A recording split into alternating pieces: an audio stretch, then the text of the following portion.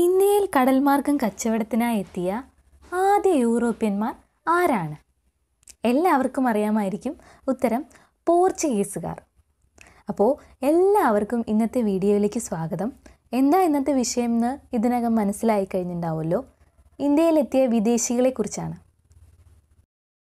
പോർച്ചുഗീസുകാരെക്കുറിച്ചാണ് ഒന്നാമതായി പറയുന്നത്. പറങ്കികൾ എന്നാണ് പോർച്ചുഗീസുകാർ അറിയപ്പെട്ടിരുന്നത്. പാരന്ത്രീസുകാർ എന്നറിയപ്പെട്ടിരുന്നത് ഫ്രഞ്ചുകാരാണ് കേട്ടോ ഫ്രഞ്ചുകാർ.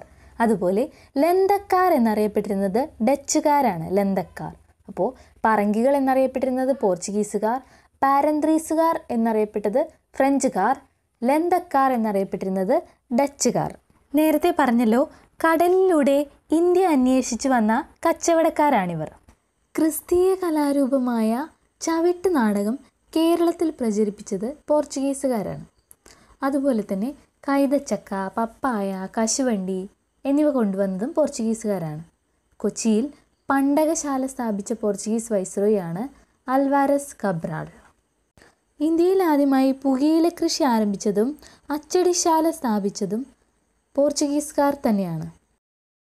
പോർച്ചുഗീസുകാരെ കുറിച്ച് പറയുമ്പോൾ ആദ്യം മനസ്സിലേക്ക് എത്തുന്ന പേര് വാസ്കോഡ ഗാമ എന്നതാണ്.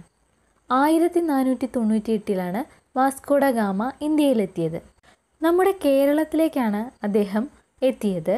കോഴിക്കോട് സാമൂതിരിയുമായി കച്ചവട ബന്ധം സ്ഥാപിക്കാൻ വേണ്ടിയാണ് വന്നത്. ലിസ്ബണിൽ നിന്നുമാണ് അദ്ദേഹം യാത്ര ആരംഭിച്ചത്.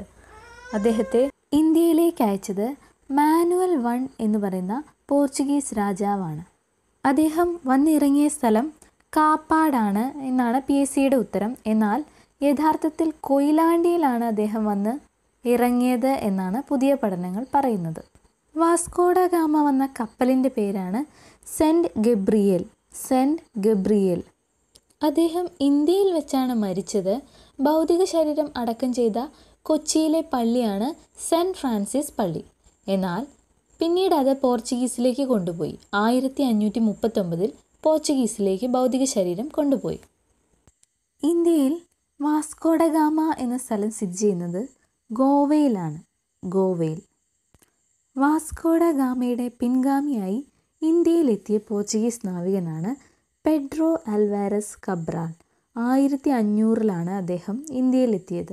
പെഡ്രോ അൽവാരസ് കബ്രാൾ പോർച്ചുഗീസുകാർ നിർമ്മിച്ച കോട്ടയാണ് മാനുവൽ കോട്ട.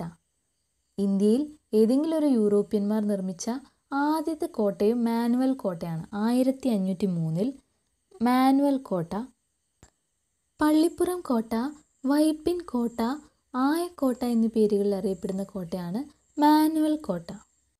അൽ ബുക്കർക്കാണ് ആയിരത്തി അഞ്ഞൂറ്റി മൂന്നിൽ മാനുവൽ കോട്ട പണി കഴിപ്പിച്ചത്. എറണാകുളം ജില്ലയിലാണ് കേട്ടോ ഈ മാനുവൽ ഫോർട്ട്. പിന്നീട് പോർച്ചുഗീസുകാർ ഇന്ത്യയിലെ പല പ്രദേശങ്ങളും പിടിച്ചടക്കുകയും അവയ്ക്ക് വേണ്ടി ഒരു വൈസ്രോയിയെ നിയമിക്കുകയും ചെയ്തു. ഇന്ത്യയിലെ ആദ്യത്തെ പോർച്ചുഗീസ് വൈസ്രോയി ആണ് ഫ്രാൻസിസ്കോ ഡി അൽമേഡ.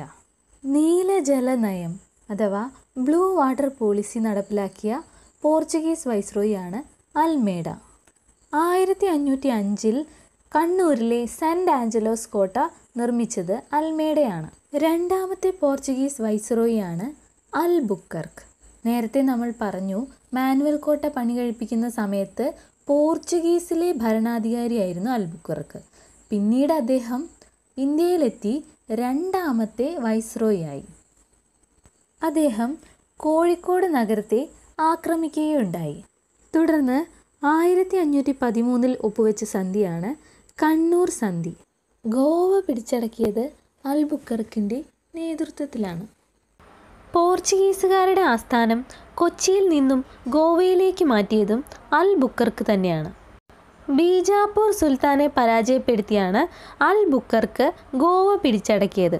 ആയിരത്തി അഞ്ഞൂറ്റി പത്തിലാണ് ഇത്. എ ഡി ആയിരത്തി അഞ്ഞൂറ്റി പത്തിൽ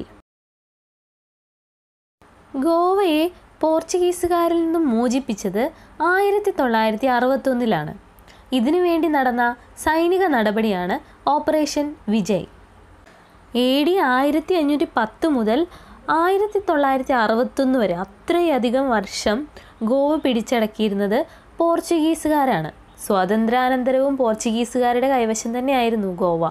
പിന്നീട് ഓപ്പറേഷൻ വിജയ് നേരത്തെ പറഞ്ഞല്ലോ ഓപ്പറേഷൻ വിജയിലൂടെയാണ് ഗോവയെ ഇന്ത്യൻ യൂണിയനിലേക്ക് കൂട്ടിച്ചേർത്തത്.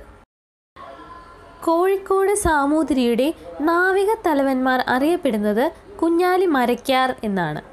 അവരെക്കുറിച്ച് പറഞ്ഞത് എന്തുകൊണ്ടെന്നാൽ പോർച്ചുഗീസുകാർ കുഞ്ഞാലിയുടെ ഭീഷണിയെ നേരിടാൻ നിർമ്മിച്ച കോട്ടയാണ് ചാലിയം കോട്ട. കുഞ്ഞാലി മരയ്ക്കാന്മാരുടെ ഭീഷണിയെ നേരിടാൻ നിർമ്മിച്ച കോട്ട ചാലിയം കോട്ട. കുഞ്ഞാലി മരയ്ക്കാന്മാരെ കുറിച്ച് നിങ്ങൾ കേട്ടിട്ടുണ്ടായിരിക്കുമല്ലോ. വളരെ ഇൻട്രസ്റ്റിംഗ് ആയിട്ടുള്ളൊരു ഹിസ്റ്ററിയാണ് അവരുടേത്. കുഞ്ഞാലി മരയ്ക്കാർ എന്നതൊരു സ്ഥാനപ്പേരാണ് കോഴിക്കോട് സാമൂതിരിയുടെ നാവിക തലവൻ അത് ഒരാളല്ല കേട്ടോ. നാല് പേരാണ് കുഞ്ഞാലി മരയ്ക്കാന്മാർ പറങ്കികളുടെ ശല്യം സഹിക്കവയ്യാതായപ്പോൾ കുഞ്ഞാലി മരയ്ക്കാർ ഒന്നാമൻ കുറച്ച് നാട്ടുകാരെയും കൂട്ടി വന്ന് സാമൂതിരിയോട് ആവശ്യപ്പെട്ടു. താൻ പറങ്കികളോട് യുദ്ധം ചെയ്യാമെന്ന്. തുടർന്ന് നാട്ടുകാരെ ഗറില്ല യുദ്ധമുറകൾ പരിശീലിപ്പിക്കുകയും പറങ്കികൾ അതായത് പോർച്ചുഗീസുകാർക്കെതിരെ പടവെട്ടുകയും ചെയ്തു. വലിയ നാശനഷ്ടമാണ് പോർച്ചുഗീസുകാർക്ക് അവർ വരുത്തിയത്. അവസാന മരക്കാരായ കുഞ്ഞാലി മരയ്ക്കാർ നാലാമനെ പോർച്ചുഗീസുകാർ അതിവിദഗ്ധമായി പിടികൂടുകയും തലയറുത്ത് പ്രദർശിപ്പിക്കുകയുമാണ് ഉണ്ടായത് പോർച്ചുഗീസുകാർ ഇന്ത്യയിൽ നിർമ്മിച്ച ആദ്യത്തെ പള്ളിയാണ് സെന്റ് ഫ്രാൻസിസ് ചർച്ച്. പോർച്ചുഗീസുകാർ ഇന്ത്യയിൽ നിർമ്മിച്ച ആദ്യ പള്ളി സെന്റ് ഫ്രാൻസിസ് ചർച്ച്.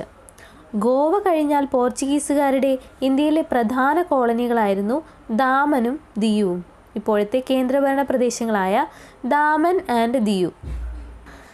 കേരളത്തിലെ പോർച്ചുഗീസ് അതിക്രമങ്ങളെക്കുറിച്ച് സൂചന നൽകുന്ന ഷെയ്ഖ് സൈനുദ്ദീൻ രചിച്ച കൃതിയാണ് തൂഫത്തുൽ മുജാഹിദ്ദീൻ തൂഫത്തുൽ മുജാഹിദ്ദീൻ ഈ വീഡിയോയുടെ ബാക്കി ഭാഗം കാണാനും കൂടുതൽ പ്രീവിയസ് ക്വസ്റ്റ്യൻസിനും കറണ്ട് അഫയേഴ്സിനും ഇതുപോലുള്ള പി എസ് സി ക്ലാസ്സുകൾ ലഭിക്കുന്നതിനു വേണ്ടി ചാനൽ സബ്സ്ക്രൈബ് ചെയ്യാൻ മറക്കരുത്. Thank so much for watching.